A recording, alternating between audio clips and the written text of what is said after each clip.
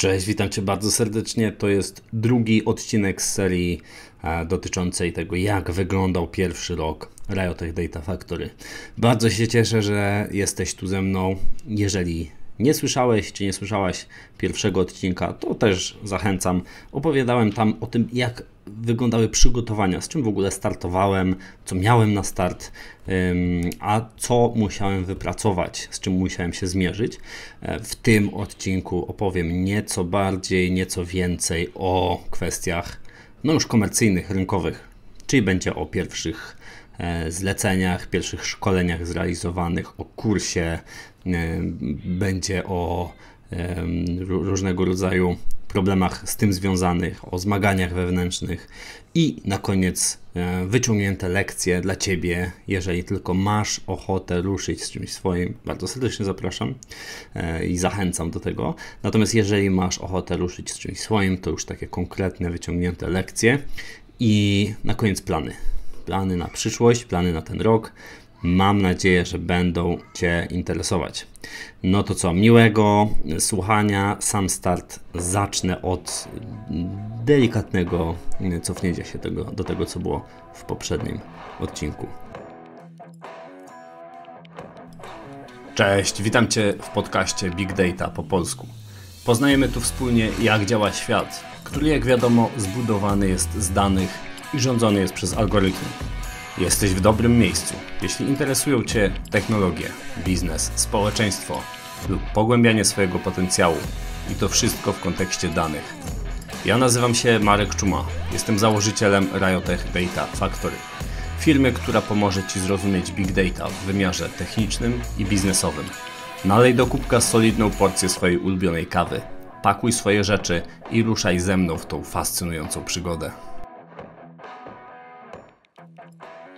I tu dochodzimy do momentu, w którym te wszystkie działania, no nie wszystkie, bo one, y, ja wymieniłem tu mniej więcej to, co robiłem y, takiego przygotowawczego przez cały rok, natomiast spora część z nich zaczęła y, odgrywać pierwszą rolę już w akcji, w boju, dlatego że pojawiły się pierwsze duże zlecenia.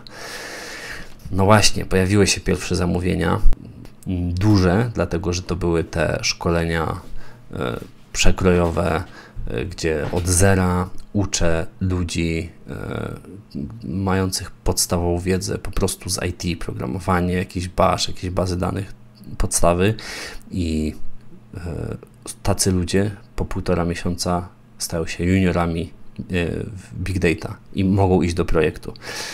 I trzeba było takich szkoleń, jedno takie wielkie i dwa takie trochę mniejsze zrobić. Natomiast zaczęło się od tego wielkiego. I to był, to był prawdziwy, e, prawdziwe szaleństwo, to co się wtedy zaczęło dziać. Przede wszystkim e, musiałem przeprowadzić negocjacje. Pierwszy raz w życiu biznesowe, prawdziwe biznesowe negocjacje. Musiałem wynegocjować stawkę, musiałem e, dograć wszystkie szczegóły organizacyjnie, biznesowo. Później się okazało, co naprawdę muszę zrobić. I jak się okazało, pracy było tak dużo, że nie wiem, czy kiedykolwiek miałem tyle pracy, tyle roboty. Przede wszystkim musiałem zrobić upgrade Gastra, dlatego że klient zażyczył sobie dość sporo technologii, których nie miałem na swoim szkoleniowym klastrze. Mm, co za tym idzie, siedziałem dzień i noc niemalże przez wiele tygodni, siedząc nad dodawaniem kolejnych technologii, setupem, konfiguracjami, testowaniem itd. Tak e, oczywiście dodatkowo musiałem stworzyć materiały, ćwiczenia, wykłady itd. Tak e, ponieważ nie wszystko sam przeprowadzałem, to weszły też, weszły też poszukiwania podwykonawców musiałem się nauczyć części technologii, dlatego że sam wszedłem w rolę takich, które, których jeszcze wcześniej nie uczyłem, także musiałem część rzeczy doczytać, stworzyć e, nowe, y, nową rozpiskę szkoleniową. I zasadniczo to wszystko to było tak dużo roboty, że się w głowie nie mieści. Chętnie o tym opowiem kiedyś, tym bardziej, że w pewnym momencie e, okazało się, że a najpierw na mój klaster został przeprowadzony atak hakerski, później jeden z klastrów przez mój błąd jakiś e, został, e, padł, jeden z, z nodów tego klastra. Także dużo i dużo, dużo jest ciekawych historii. Bardzo chętnie się nimi podzielę. Natomiast poza tym, że było mnóstwo roboty, to było też bardzo, bardzo, bardzo, bardzo dużo stresu. Dlatego, że w pewnym momencie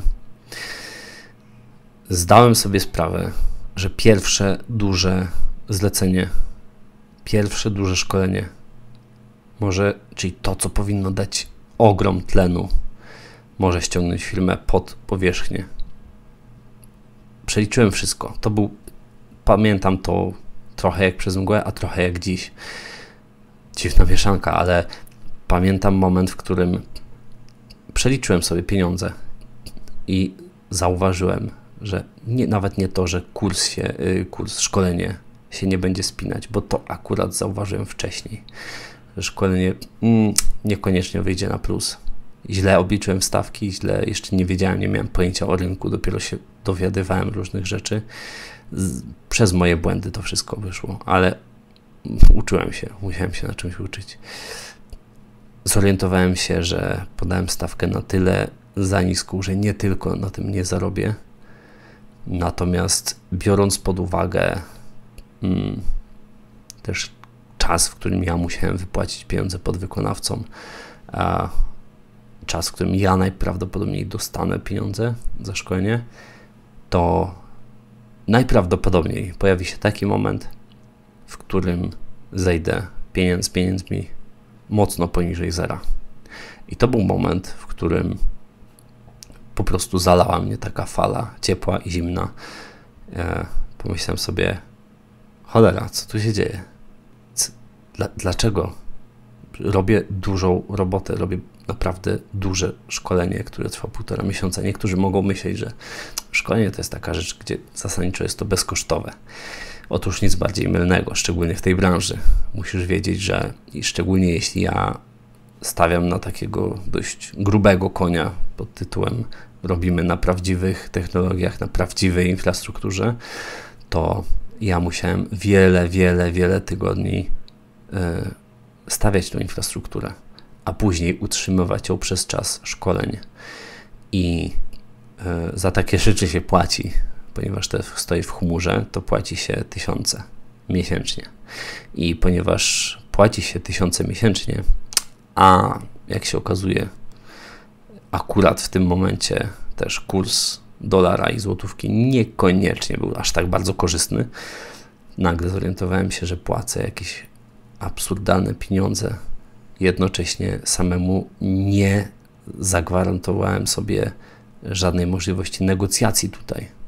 Chciałem wrócić, co prawda, do negocjacji, natomiast droga była tak naprawdę zamknięta. Przeliczyłem te pieniądze, zobaczyłem, że ok, teraz jeszcze są, ale no, matematyka jest nieubłagana. No po prostu, jeżeli to wszystko pójdzie tak, jak ja chcę, żeby poszło, to będzie poniżej zera. I to był moment, w którym po prostu zalał mnie stres. I być może też będziesz mieć taki moment. Co wtedy sobie zrobiłem?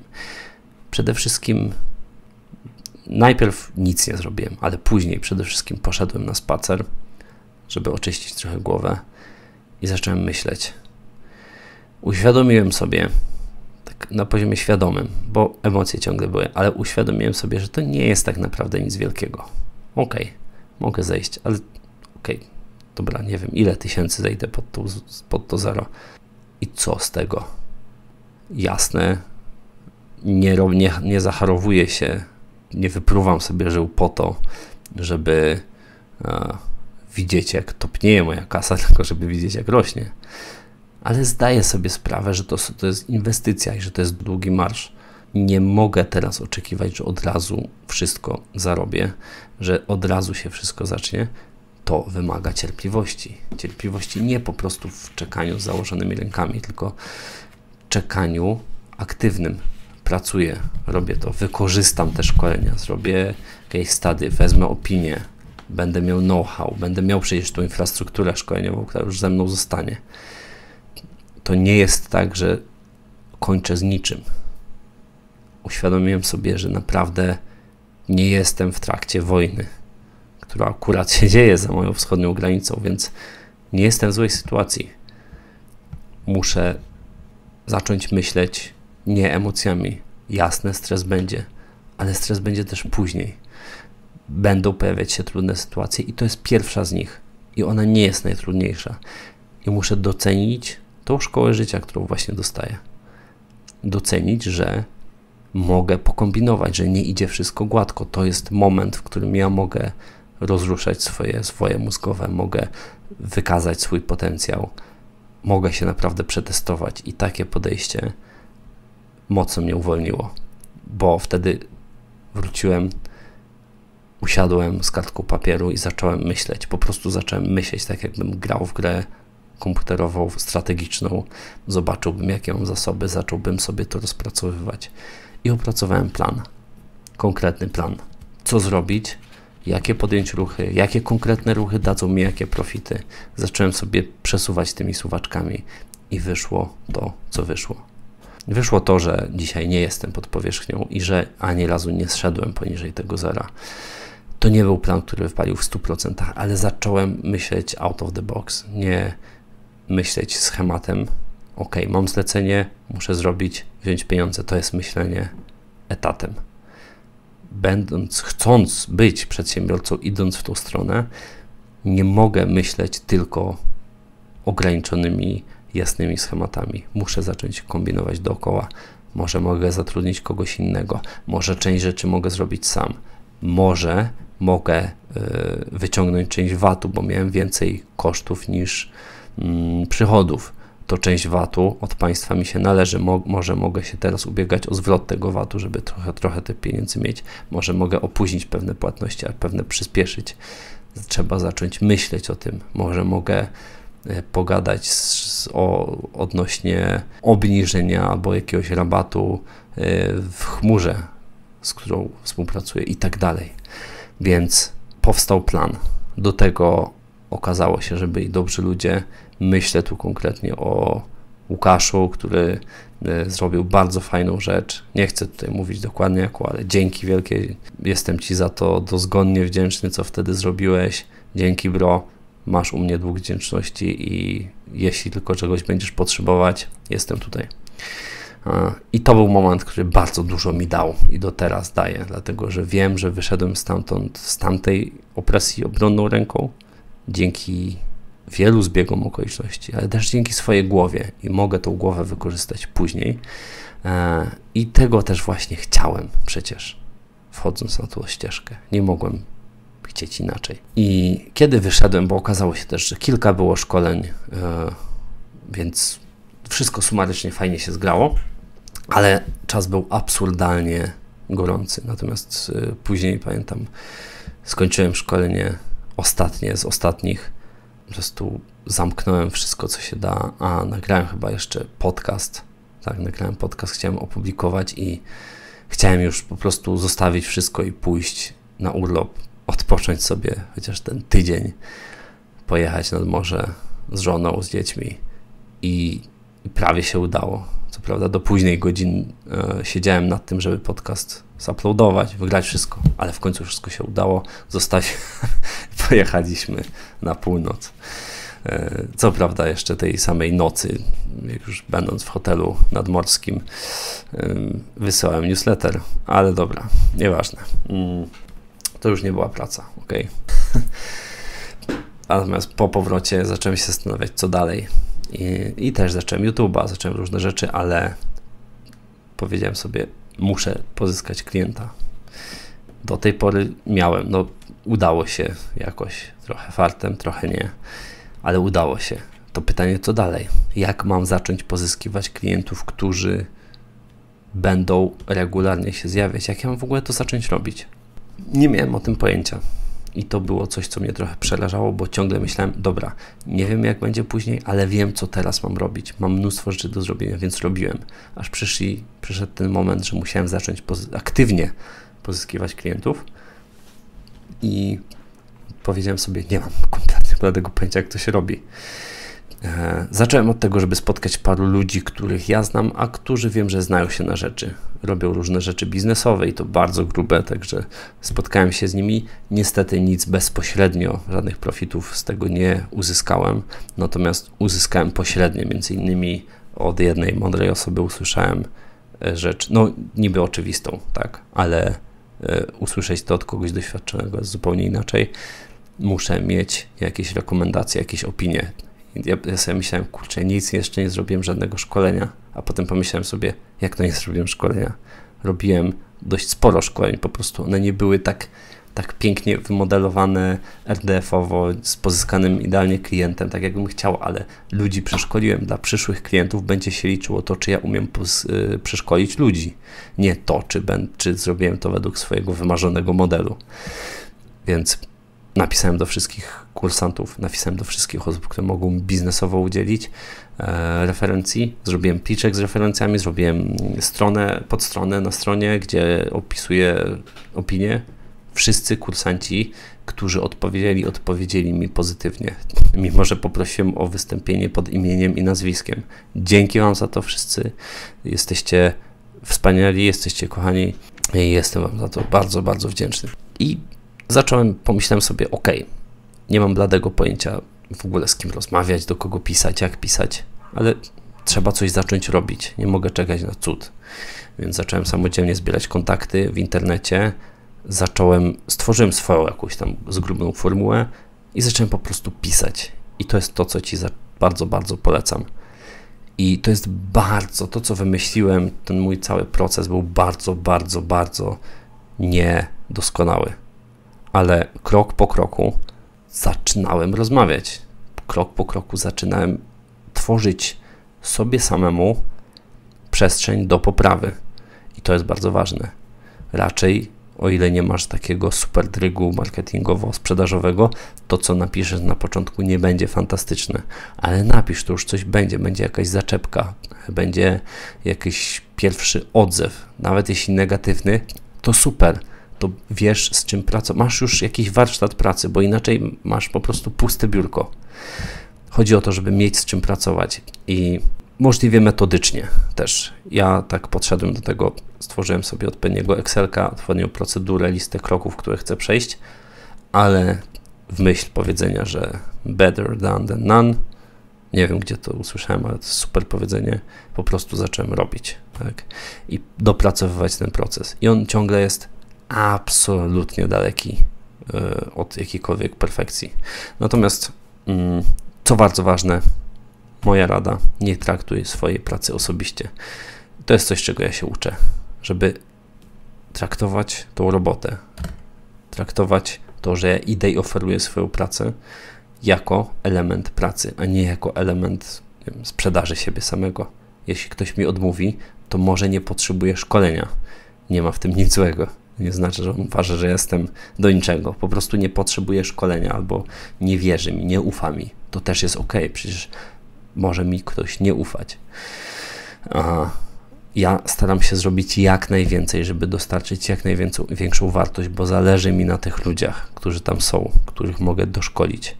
Zależy mi na firmach, którym mogę pomóc. I zależy mi na sobie samym, bo to też jest bardzo ważne. E, ale nie mogę oczekiwać, że wszyscy rzucą się do moich stóp.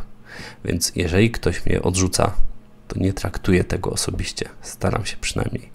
I to jest bardzo ważne w kontakcie z klientami. Natomiast, e, co jest ważne, już pierwsze spotkania za mną, co jest moim zdaniem bardzo fajnym osiągnięciem, jak na sam początek.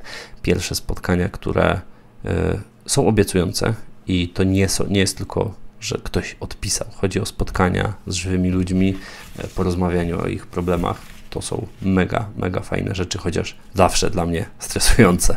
E, ale już dawno się przekonałem, że tam, gdzie jest strach, tam jest rozwój i to jest bardzo prawidłowe i bardzo prawdziwe powiedzenie. Kurs. Hmm, no właśnie. E, gdzieś we wrześniu pomyślałem sobie, ok, jednej rzeczy w tym w roku raczej nie zrobię. I to będzie kurs. Kurs online. Bardzo chciałem zrobić kurs online, dlatego że bardzo chciałem, żeby było też coś dla ludzi, dla indywidualnego człowieka, który chce zacząć pracować z big data. Chciałem mieć taką ofertę dla ludzi, ale pomyślałem sobie, nie będę się rozpraszał. Yy, będę atakował po prostu w tych klientów i zobaczę, co z tego wyjdzie. Natomiast gdzieś tak październik, listopad przyszła mi taka myśl, a może jednak. I najpierw zacząłem wysyłać e, listy, e, e-maile po prostu i prosić ludzi na LinkedInie. E, zebrałem tam chyba z 9 czy 10 e, odpowiedzi wypełnionych ankiet tego, czego ludzie oczekują. E, I polecam to zrobić. Polecam, dlatego że ja miałem pomysł na kurs i z ankiet wyszło mi, że ludzie chcą kompletnie czegoś innego. Jak się okazało, czegoś, co mi bardziej odpowiada, także super. I, mm, ale jakby odpowiedzi były praktycznie jednoznaczne, że ludzie tego chcą, czyli konkretnie chcą poznać technologię Apache Spark. Super, bo to moja ulubiona technologia. Super, bo nie trzeba do tego ciężkiego sprzętu. Wystarczy ci e, IntelliJ, jakieś środowisko programistyczne, także e, ideolo. I zobaczyłem, jak dużo pracy, ale pomyślałem, a walić to, robimy. Trzeba po prostu przed końcem roku, przed Wigilią Bożego Narodzenia ma być kurs. Y, ludzie mają się o tym dowiedzieć. Przygotowałem bardzo zgrubny plan promocji, otworzyłem nowy newsletter y, mm, kursowy. Powiedziałem, że jak chcecie się zapisywać, będziecie dostawali jeszcze tipy i do boju. I zaczęliśmy z tym pracować. Zrobiłem to bardzo, bardzo szybko. W przyszłości chciałbym, żeby to było dużo Y, wolniej, dużo bardziej metodycznie, lepiej. Natomiast pomyślałem sobie, muszę mieć bazę przed końcem roku. I zrobiłem to. W piątek, tuż przed Wigilią Bożego Narodzenia, po prostu y, to zrobiłem. Skończyłem i opublikowałem wieczorem.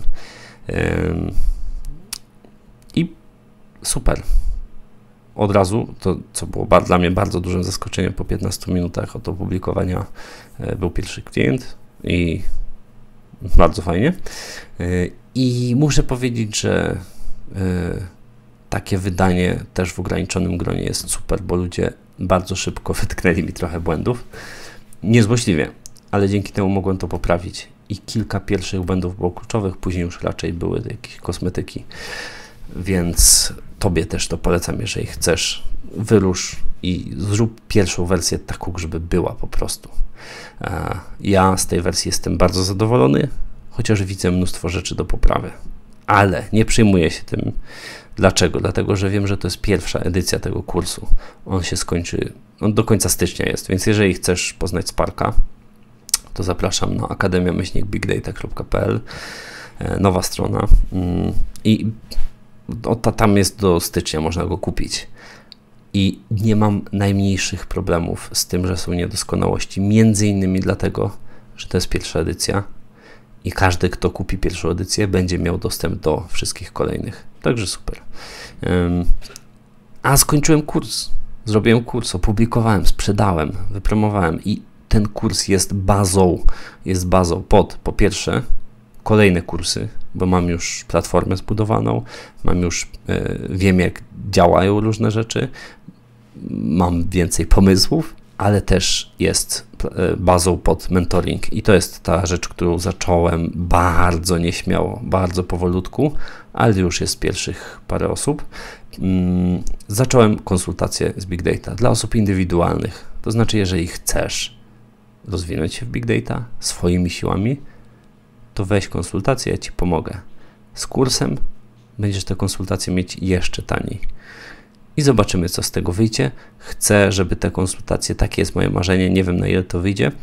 Na pewno to dużo zależy od Ciebie, ale chcę, żeby te konsultacje po iluś miesiącach kończyły się zatrudnieniem po prostu. Jeżeli chcesz się rozwinąć w Big Data, najlepiej się zatrudnić. Dlatego też rozmowy z firmami prowadzę troszeczkę pod tym kątem, czy nie byłyby zainteresowane takimi ludźmi. I ten mentoring to jest też fajna sprawa. I to tyle w poprzednim roku. Lekcje e, na sam koniec. Jakie lekcje wyniosłem z tego roku i co ty możesz wdrożyć, o czym, mm, no co było dla mnie trochę nieoczywiste. A, pierwsza rzecz, kwestia marketingu. Podstawowa rzecz, oferuj wartość.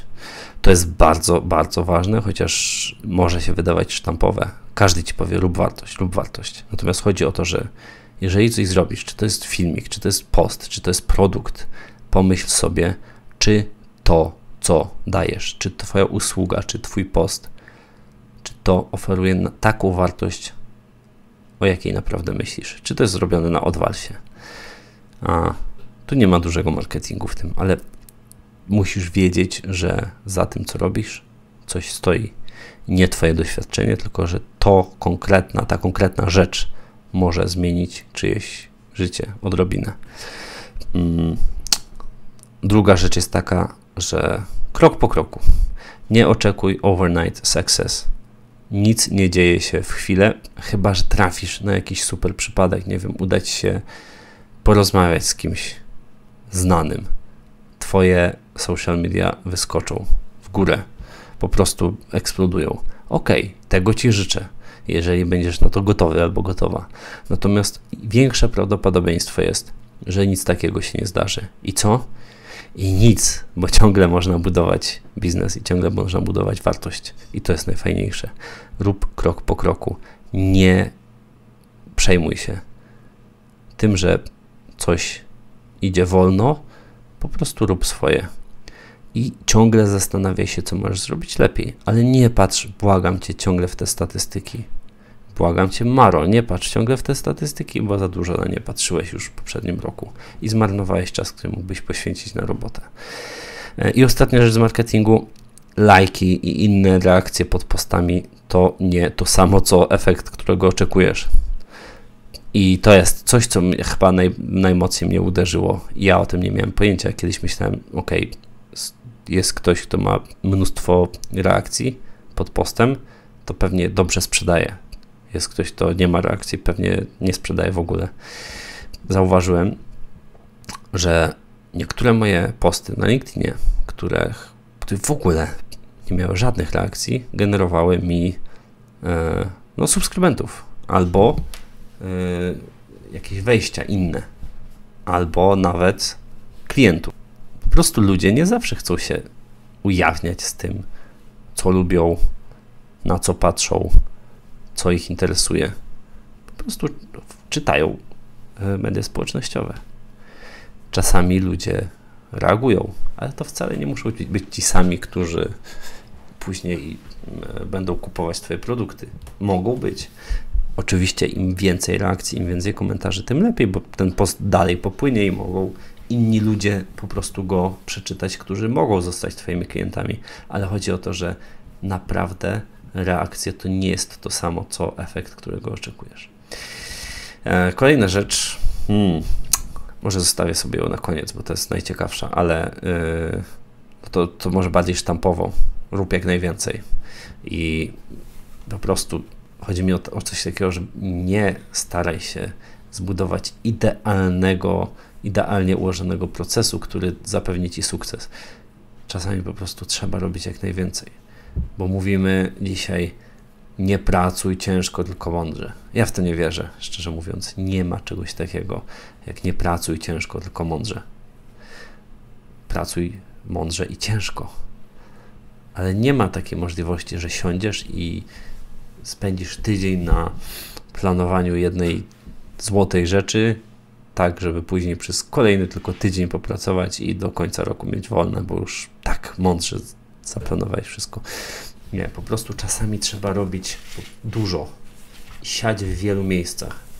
Ja zasiałem w wielu miejscach i szczerze mówiąc, przez grudzień nic prawie nie publikowałem nigdzie, prawie nigdzie a to jest miesiąc, w którym najwięcej subskrybentów przyszło do mnie.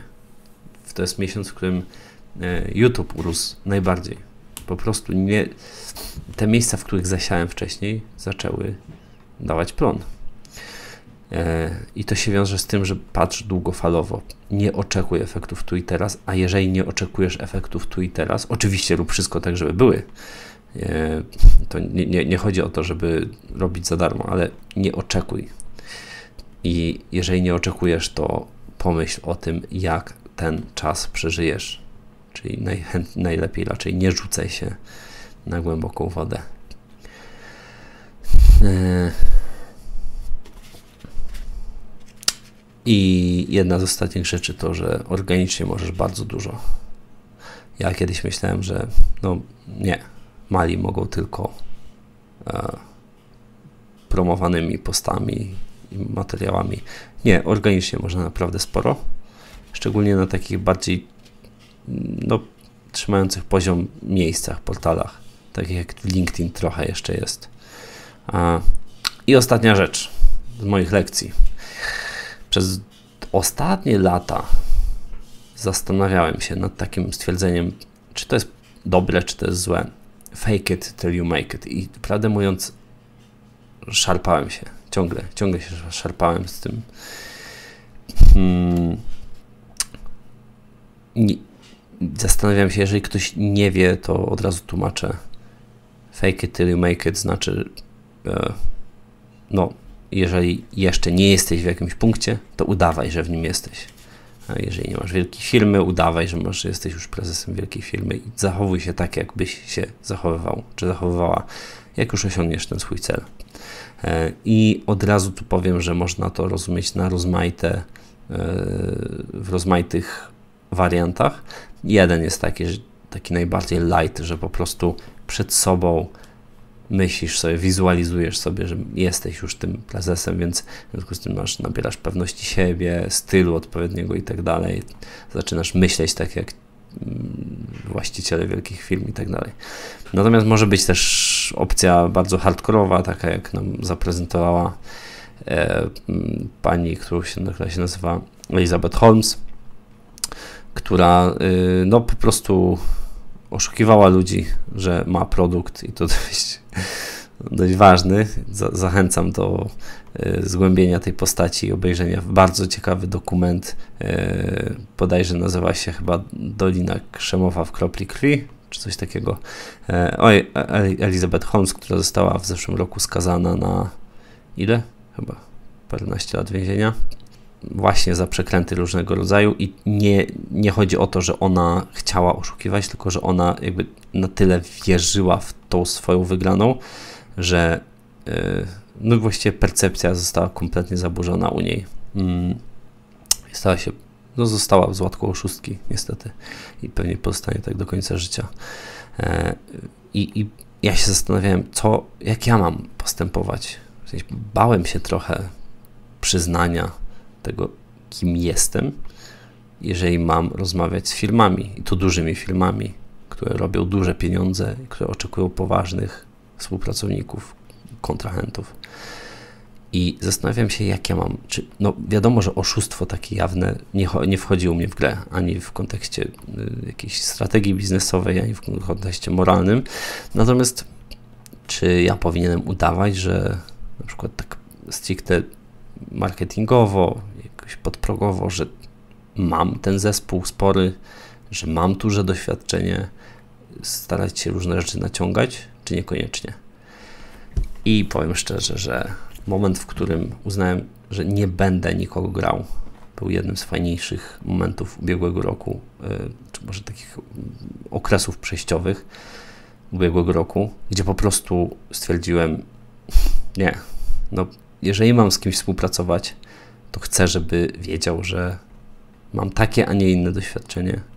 Nie mam już małego doświadczenia, więc nie muszę się tego bać. Może nie mam aż tak wielkiego, jakby ktoś mógł oczekiwać, ale jestem przekonany, że dowiozę wartość i to jest najważniejsze. Jeżeli ktoś oczekuje współpracy tylko z drugą korporacją, to i tak to prędzej czy później wyjdzie, więc przestałem grać znaczy, nigdy za bardzo nie grałem, ale przestałem myśleć o tym, że będę grał i po prostu publikowałem e, jako ja. Na YouTubie mówiłem jako ja i pomyślałem sobie, niech tak będzie. Jeżeli ktoś będzie chciał współpracować z kimś, kto dostarczy dużą wartość, to do mnie przyjdzie, zapraszam. Jeżeli nie, no to i tak to wyjdzie. A wolę, żeby poważna firma doceniła moją, moją formułę szkoleń, która pomoże im zbudować solidny zespół Ignite'owy, a później zorientowała się, że nie działam jednak sam, że mam współpracowników, mam sieć współpracowników, którzy nie działają ze mną na zasadzie etatu, ale współpracują i ja ich podnajmuję i tworzę większy, jednak większą strukturę, niż żeby było odwrotnie, żeby myśleli, że jestem korporacją, a wyjdzie jednak trochę co innego. I Tobie też to polecam. Zdziwisz się, jak wiele osób, również w świecie korporacyjnym, jest przyjaznych, jest dobrze nastawionych. I moim zdaniem ludzie po prostu współcześnie mają dość fałszu. I tyle.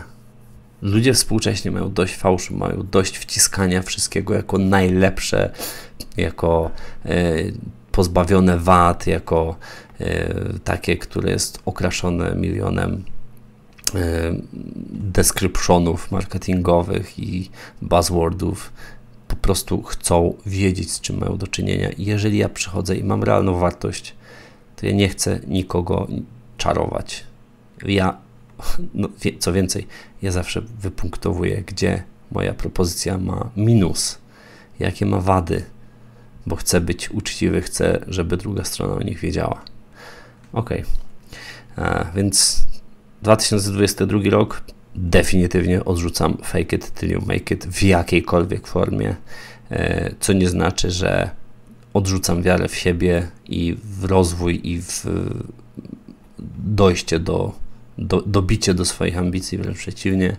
Uważam, że ten moment, w którym tu jestem, okazanie wszystkim pokory, szacunku, to jest moment, w którym najszybciej mogę rosnąć.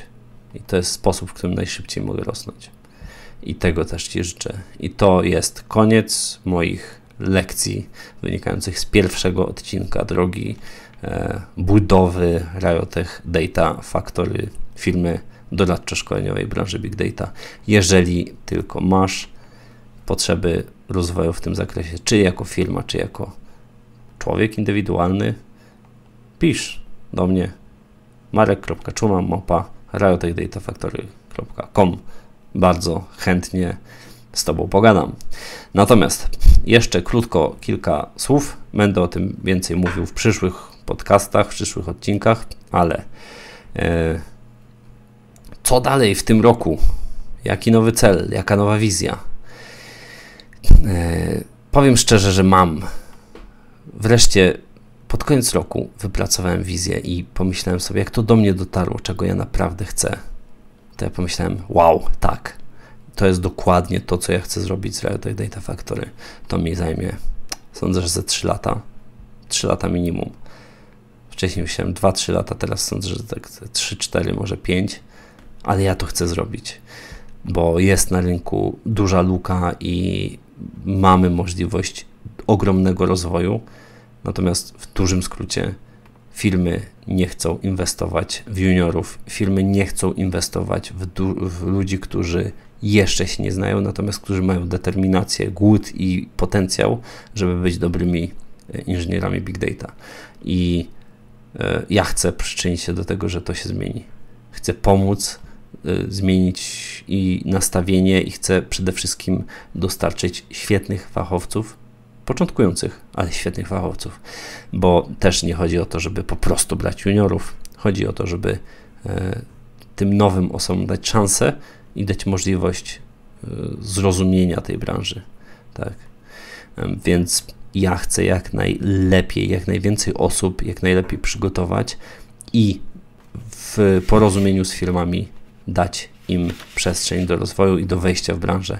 To naprawdę zracjonalizuje bardzo dziwne, coraz dziwniejsze stawki, które się pojawiają na rynku, jednocześnie da ludziom możliwość ciekawej pracy, dobrze płatnej pracy i da firmom wreszcie tlen i zasoby do poważnego rozwoju.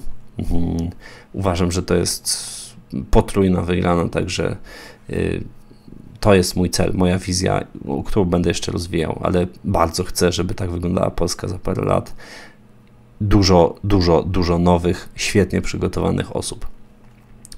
Y, natomiast w kontekście i podcastu i nie tylko. Otwieram się na współpracę. Tak jak w tym roku testowałem, tak w 2023 bardzo chcę współpracować. I chcę zacząć współpracować, także jeżeli masz ochotę albo powspółpracować operacyjnie, albo e, przy okazji tego, odcinka, tego podcastu Big Data po polsku pogawędzić ze mną o danych, to bardzo zachęcam. Napisz marek.czumamałara.datafactory.com albo na LinkedInie, albo gdziekolwiek zechcesz. I sądzę, że dojdziemy do porozumienia. Jeżeli patrzysz w tą samą stronę co ja, super. Musimy zrobić coś, żeby ta branża wystrzeliła w Polsce. Także sam tego nie zrobię. E, razem mamy dużo większe szanse. I mentoring to jest trzecia rzecz w tym roku, która na pewno wejdzie. E, znaczy na pewno, no sądzę, że na pewno, bo już widzę, że jest coraz większa przestrzeń do tego. Chcę otworzyć się na pomoc indywidualnym ludziom, nie szkoleniową, tylko mentoringową, czyli pewnego nadzoru nad ich rozwojem. Czyli ty się rozwijasz swoimi siłami, ale ja staram się, żebyś nie popełnił kompletnych głupot. E, pomagam ci też trochę nawet technicznie, bo myślę o tym, jakiś code review, e, różne takie rzeczy, które przy szkoleniach dają największy boost. E, I jeśli się uda, to też pomoc przy później przy znalezieniu pierwszej pracy, albo może niekoniecznie pierwszej. Także jak widać, w tym roku zapowiada się bardzo, bardzo dużo akcji. Jeżeli chcesz w tej akcji wziąć udział, to jesteś tu mile widziany i bardzo się cieszę, że ze mną jesteś. Bardzo się cieszę, że przebrnąłeś przez ten odcinek, a właściwie dwa odcinki, bo już wiem, że to podzielę. Trzymaj się. Życzę Ci powodzenia w tym nowym roku i do usłyszenia w kolejnym odcinku za dwa tygodnie. Trzymaj się. Ja nazywam się Marek Czuma, jestem założycielem, dumnym założycielem Riotech Data Factory, inżynierem Big Data. I trzymam za Ciebie kciuki, wierzę w Ciebie. A teraz miłego dnia, miłego wieczoru, smacznego, cześć!